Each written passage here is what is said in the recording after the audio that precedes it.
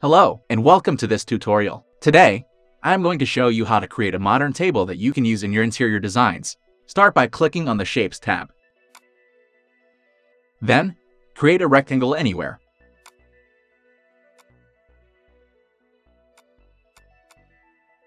Now, with the rectangle selected, go to the Modify panel.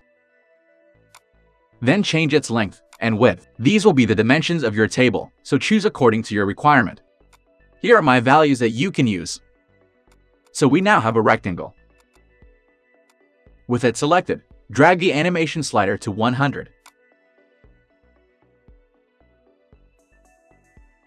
Then press on the Auto key button.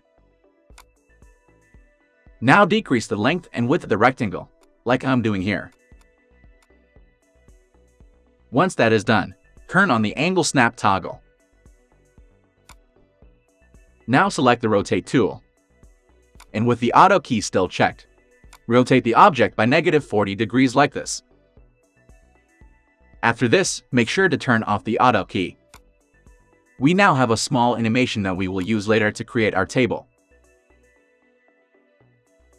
If we play this animation, it might not be very clear due to the low frame rate of my screen recorder, but the animation tend to slow down at the end, meaning that the rectangle starts rotating at a normal speed in the start.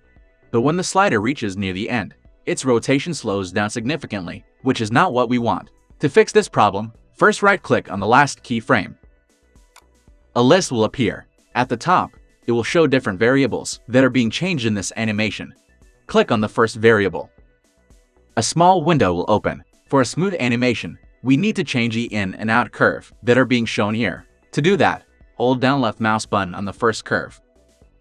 A list of different curves will open. Here choose the second one. Now press on these four arrows to copy changes to other keyframes as well.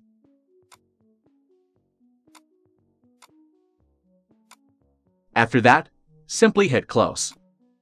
You need to do this for all the other variables as well.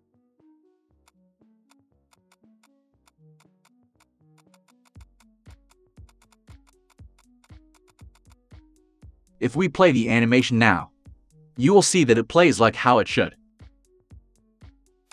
Now, with the rectangle selected, in the Modify panel, click on the Rendering Rollout. First, check the Enable in Renderer and Enable in Viewport option. Now, click on the rectangle radio button just below. Here, change the length to 3 and leave the rest of the options as they are. Now open the modifier list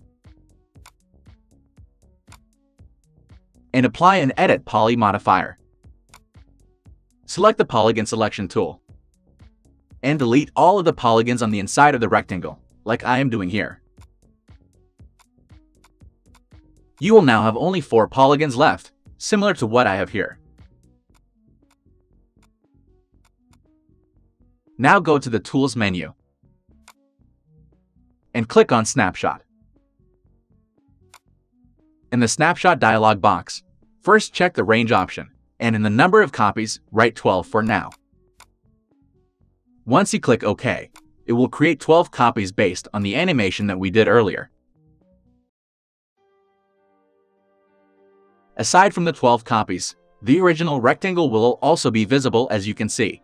You can choose to either hide or delete it, as we don't need it anymore. Now select all of the copies. Go to the Modify panel. In the Modifier list, add a shell modifier.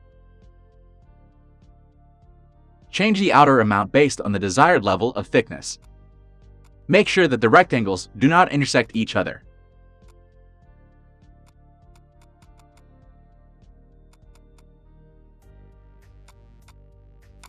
Once this is done, use the Transform and Rotation tool to make these two points contact a single flat plane.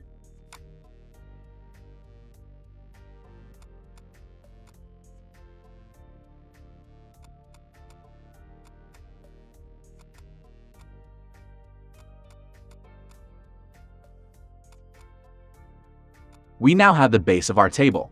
Now let's quickly create the glass top. I am simply going to create another rectangle for that.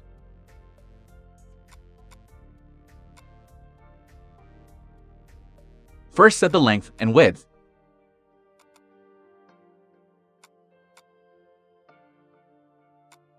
Then add an Edit Spline modifier.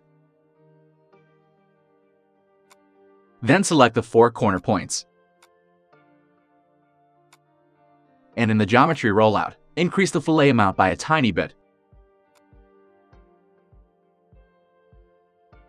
Lastly, I will apply an extrude modifier to create the shape. Now all that is left to do is position it on top of the table base.